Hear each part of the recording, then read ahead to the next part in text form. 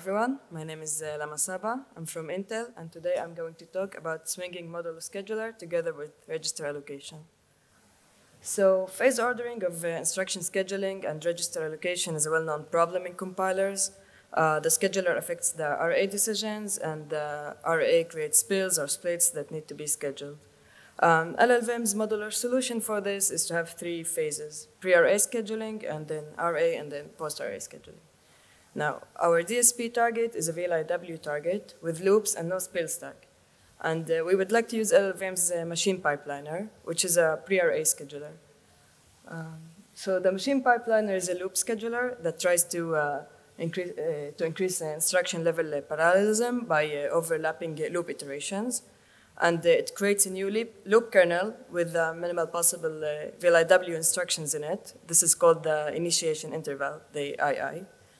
Now, if the scheduling with the minimal II was too aggressive, it could uh, later cause uh, spills in the stack in the register allocator due to high register pressure. Uh, whereas if we were to increase the II, we could uh, avoid these spills, of course, on the expense of uh, decreased uh, throughput.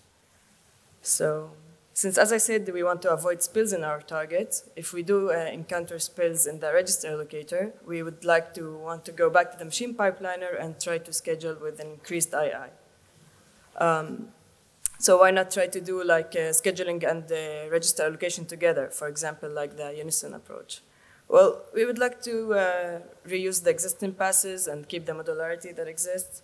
Uh, this is also faster for us in compile time, and the machine pipeliner inherently supports increasing the II and retrying.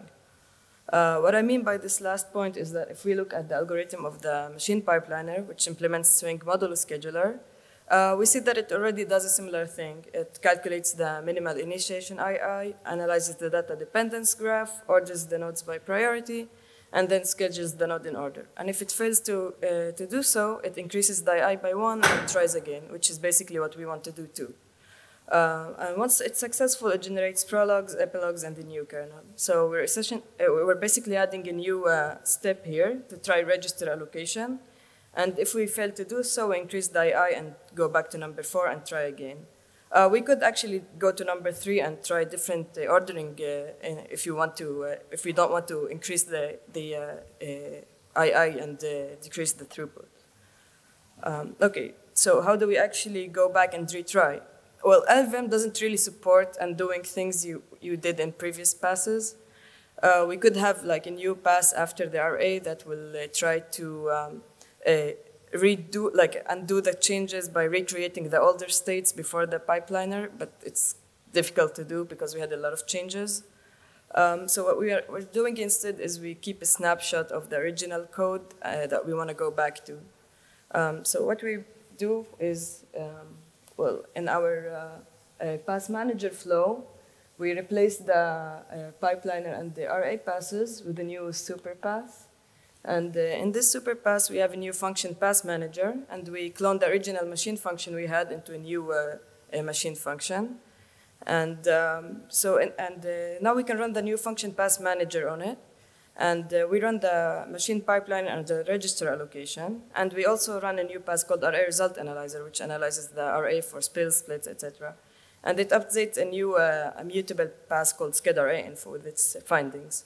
Uh, we also make sure that the machine pipeliner uh, updates the loop's uh, initiation intervals it calculated into the sched So once the run is over and we're back in our super pass, we check if we were successful, if we don't have spills, and if so, we clone the machine function after it's been pipelined and register allocated into the original machine function, and we continue in our flow.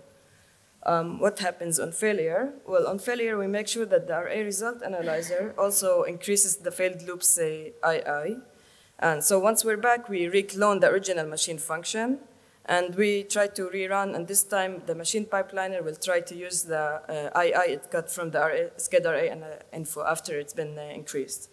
We keep on doing this until we're successful or until we reach a certain threshold.